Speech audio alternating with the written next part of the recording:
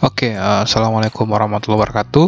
Uh, jumpa lagi dengan saya Walid Umar. Pada video kali ini kita bahas terkait uh, salah satu distro Linux. Ya, bisa dilihat ya.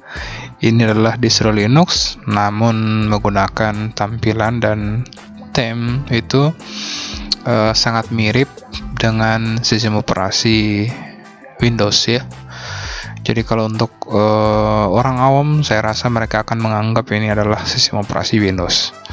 Uh, sebelumnya saya sudah melakukan proses instalasi ya. Uh, pada nama distronya itu Linux FX. Itu proses uh, developmentnya menggunakan uh, Ubuntu base. Jadi kita bisa gunakan uh, sistem pemaketan manager apt uh, instalasinya sama persis kayak kita nginstal uh, Ubuntu ya. Oke. Okay. Untuk itu kita bisa login di sini harusnya masuk ke desktop ya.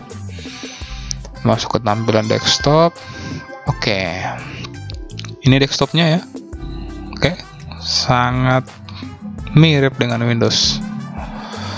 Oke, bahkan ini kalau dilihat sepintas ini kayak Windows ya. Shutdown layar start menunya. Ini pakai cinnamon ya. Itu mirip Windows. Ada Cortana-nya. Oke. Okay.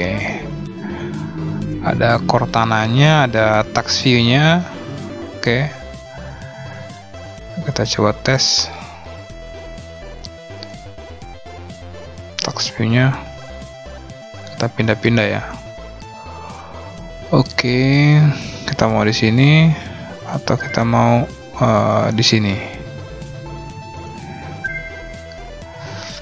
Oke kita cek uh, my komputer oke hampir mirip ya kayak explorer. Kita lihat file sistemnya ya ini Linux ya. Tidak ada program file tidak ada user dan lain sebagainya adanya home ya. Oke sama dibuat semirip mungkin ya. Seperti mau ganti wallpaper.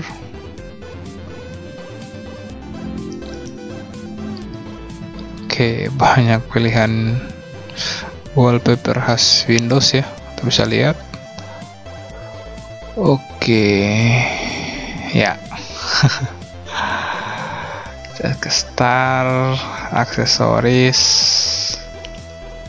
aplikasi-aplikasi standar ada Visual Studio Code ada Y ini ya untuk menjalankan file exe grafik ada uh, game ya. Oke ada Inkscape ada Skype ada Microsoft Teams ada Google Chrome ada Anydesk sudah terinstall semuanya ada Zoom jadi kalau kita install uh, ke orang yang uh, awam ya dengan mereka tentunya harusnya menganggap ini adalah uh, Windows ya. Nah, ini yang menariknya ada perangkat perkantoran, di sini ada Word, ada PowerPoint, ada Excel, ada Evolution. Kita coba buka ya Word-nya. Ya. Oke sementara diakses PowerPoint. Oke ini kayaknya bukan Word ya. Saya saja bingung ya. Ini Word oke. Ini bukan Word ya bukan Microsoft Word. Ini hanya only aplikasi only Office. Namun sangat mirip ya dengan Word testing fx linux oke okay. fitur-fiturnya sama okay. uh, eh, ada line spacing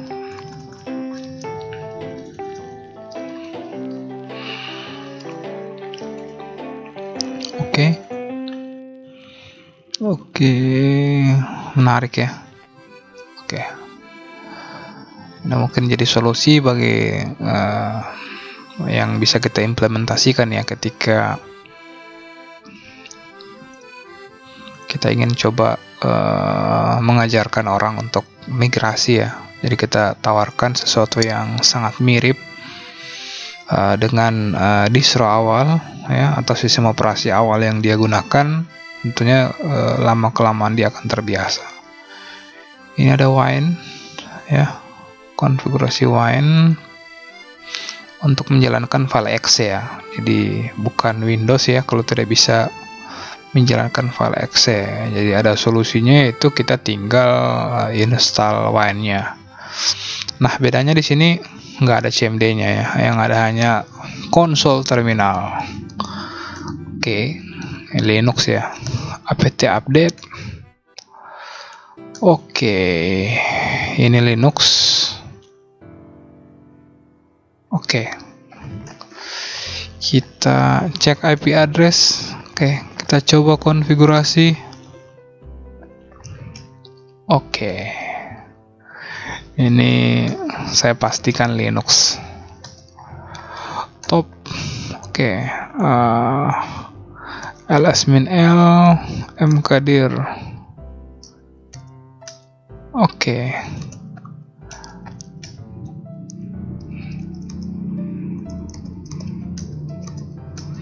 Oke. Okay. Ya. Uh, sekian ya video uh, tutorial kali ini ya, review terkait uh, distro uh, Linux yang hampir mirip ya.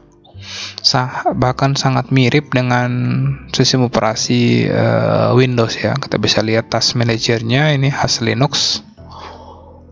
Oke. Okay proses yang berjalan kita bisa kill ya kita bisa akhiri ada penggunaan CPU ada Anidesk setting interface-nya juga harusnya sama oke ini khasnya cinnamon ya. Kita setting. Oke. Oke sangat mudah. Manual. Oke setting IP address. Oke, akhir kata semoga apa yang saya sampaikan bermanfaat ya. Uh, pada video kali ini saya tidak akan menjelaskan terkait tahapan instalasi karena sangat mirip dengan uh, sistem operasi distro atau distro Linux Ubuntu ya.